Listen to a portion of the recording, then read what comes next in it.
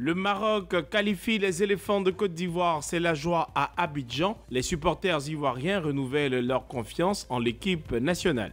La Cannes 2023 se poursuivra sans Mohamed El Chenaoui, le gardien égyptien. Le portier doit subir une intervention chirurgicale au Caire.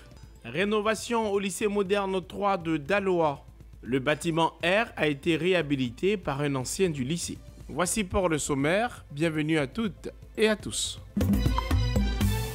Il n'y a plus de suspense. La Côte d'Ivoire est désormais en huitième de finale de la Coupe d'Afrique des Nations. Un passage au deuxième tour grâce à la victoire du Maroc face à la Zambie sur le score de 1 but à 0. Une qualification qui réjouit les supporters du pays organisateur de la compétition. Tout un continent a serré pour la défaite d'un pays. On a compté sur Cameroun, ils nous ont fait ça. Mali, ils nous ont fait ça. Merci au Maroc, merci. Je suis marocain. Je suis marocain. Très, très content. La Côte d'Ivoire est qualifiée. C'est le Sénégal. Rendez-vous le 29. On va vous battre. Ouais, je suis très, très content. Très, très heureux. On espère que la Côte d'Ivoire gagne le Sénégal puisque on croit le Sénégal en huitième de finale. Sorti du coma après avoir pris 4 buts face à la Guinée équatoriale, les éléphants de Côte d'Ivoire sont en quelque sorte les miraculés de la compétition. Il termine ainsi parmi les meilleurs troisièmes de cette 34e édition de la Coupe d'Afrique des Nations.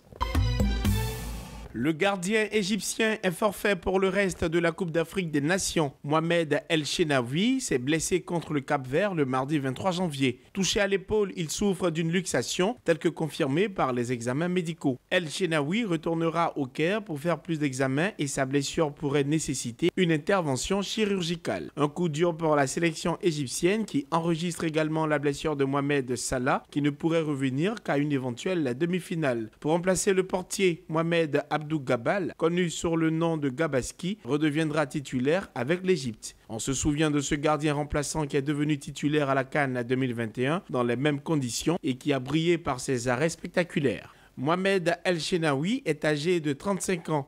Il a été sélectionné à 54 reprises avec les Pharaons des intrants agricoles, des brouettes, des bottes et des pulvérisateurs, des dons offerts à 20 associations villageoises de crédit et d'épargne avec des départements de Tanda et de Bondoukou. Une initiative de l'ONG Soleil Levant Éducation qui s'inscrit dans le cadre du projet protection sociale sensible aux enfants. L'initiative vise à contribuer à l'épanouissement des enfants vivant dans les ménages vulnérables. Le projet qui est mis en œuvre depuis 2022 dans 20 localités du département de Bondougou et du département de Tanda vient apporter un appui aux ménages pour prendre en charge leurs enfants.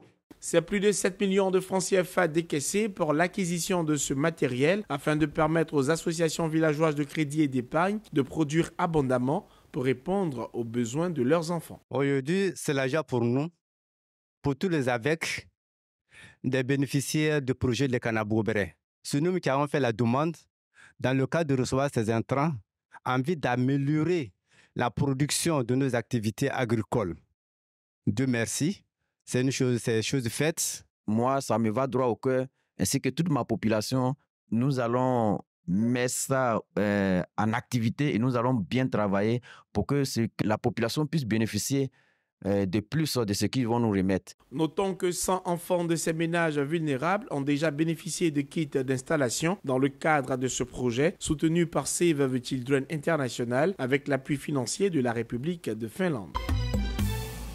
C'est un bâtiment R totalement réhabilité qui a été officiellement remis aux autorités éducatives du lycée moderne 3 de Daloa. Une action à mettre au compteur d'un ancien élève de l'un des premiers lycées de la ville. Vassiri Kidiarasuba, aujourd'hui chef de cabinet du président de l'Assemblée nationale, veut contribuer à l'amélioration des conditions d'études des élèves. Par l'éducation que nous avons reçue dans cette école, nous permet aujourd'hui d'occuper des fonctions assez honorables dans l'administration ivoirienne.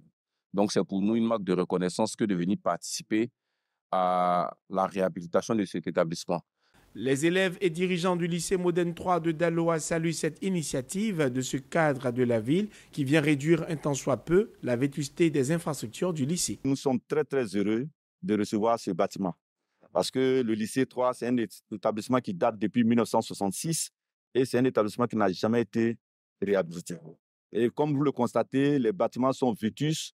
Quand il pleut, nous avons tellement de difficultés. L'eau rentre dans les salles de classe et vraiment, c'est des, c'est des travaux lourds que l'administration ne peut pas faire. Donc, vraiment, euh, ce, cet ancien élève qui est venu nous aider, nous sommes très heureux et nous prions pour lui, que Dieu l'élève davantage, que Dieu, Dieu le soutienne. Nous sommes vraiment heureux. Vraiment, moi, je suis heureux euh, à cause du, du nouveau bâtiment. Parce que quand nous étions ici, c'était un peu compliqué de, de travailler. On n'arrivait même pas à bien, à bien bosser le- les soirs comme ça. Quand il pleuvait, ici, il devenait sombre parce qu'il n'y avait pas d'ampoule et ça coulait, tout ça. Mais maintenant, grâce à M. Vass, tout va bien maintenant. On pourra bosser et avoir notre bac. Le lycée moderne 3 de Dalois avoisine les 60 ans de vie sans aucune réhabilitation. Toutes les bonnes volontés sont invitées à contribuer à la formation de la jeunesse à travers des actions de réhabilitation. C'est la fin de ce 7 minutes. Merci de l'avoir suivi. Très bonne suite de programme sur cette info et sur cetteinfo.ci.